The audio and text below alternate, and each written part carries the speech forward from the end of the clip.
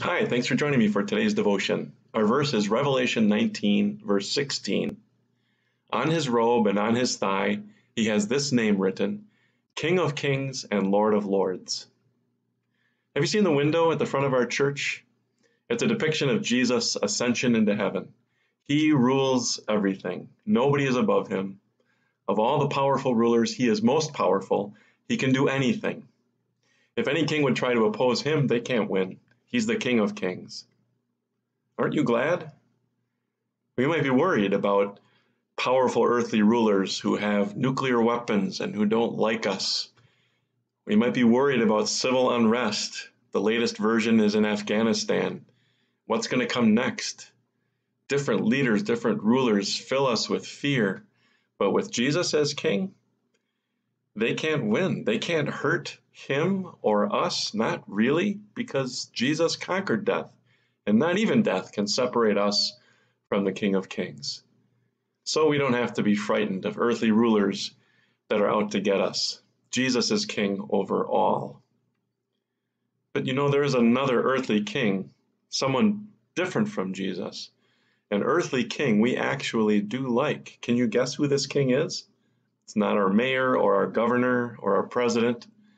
Whenever this king gets his way, we get something out of it.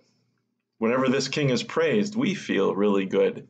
Do you know which king we all love? His name is Self.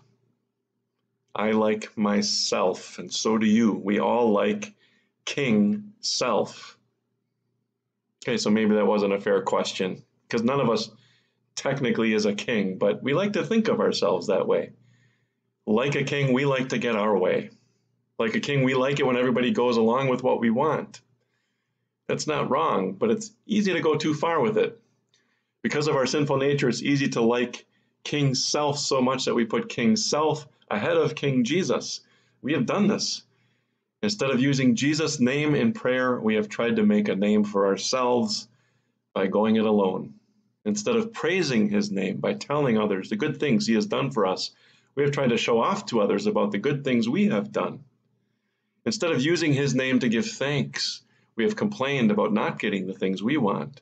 What should the King of Kings do with people like us, who in our sinful nature are always trying to steal the honor he deserves? He's the true King. He should go to battle against us. I don't have to tell you who would win if he did. But that's not the kind of king he is. This king carried all our sins to the cross and suffered and died for us there. This king has won forgiveness for all the sins of everyone, yours too.